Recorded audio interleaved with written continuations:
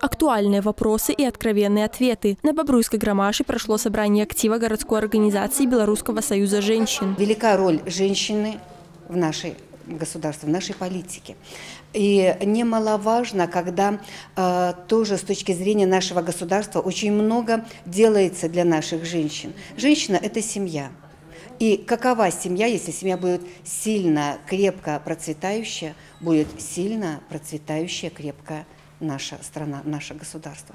Поэтому основные моменты, конечно, были нацелены на это. На встрече присутствовали члены Бобруйской городской организации, представители власти, сотрудницы предприятия. В формате открытого диалога побеседовали про роль женщины в обществе, в стране в целом, поддержке со стороны государства, бесплатном ЭКО, уменьшении страхового стажа для многодетных семей. Затронули тему развития города. Уже 1 августа состоится торжественное открытие детской больницы. Вскоре начнется строительство четвертой поликлиники. У коллектива остались позитивные впечатления от беседы. Женщины отмечают, атмосфера была радушной и доверительной. Мы здесь как бы боевые все подруги.